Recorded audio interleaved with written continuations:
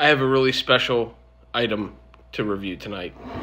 These are the Crabby Chesapeake Pickles by the Green Kamikazes. Not only are they special, but they have my name on them. So, it's been a long time that I've worked with the Green Kamikazes and we have a great relationship.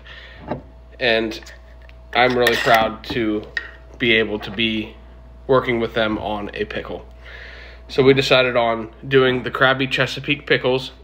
These have baby corn and jicama in them as well. And he put that ghost pepper spice in there that is my favorite.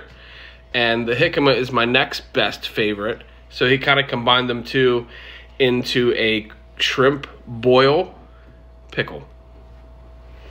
You can't get any better than this. Even the pickle girl is gonna look how big that pickle is. Here, I'll, you want to go halves on it?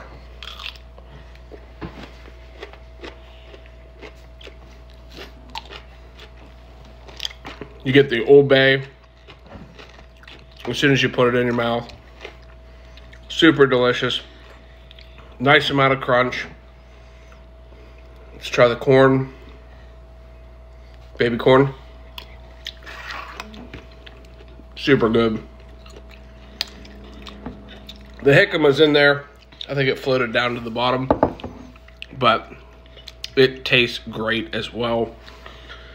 So if you're like a nice, spicy, Old Bay style Chesapeake pickle, definitely I recommend these. These are a 10. Yeah. So make sure you guys pick up some and we'll see you later.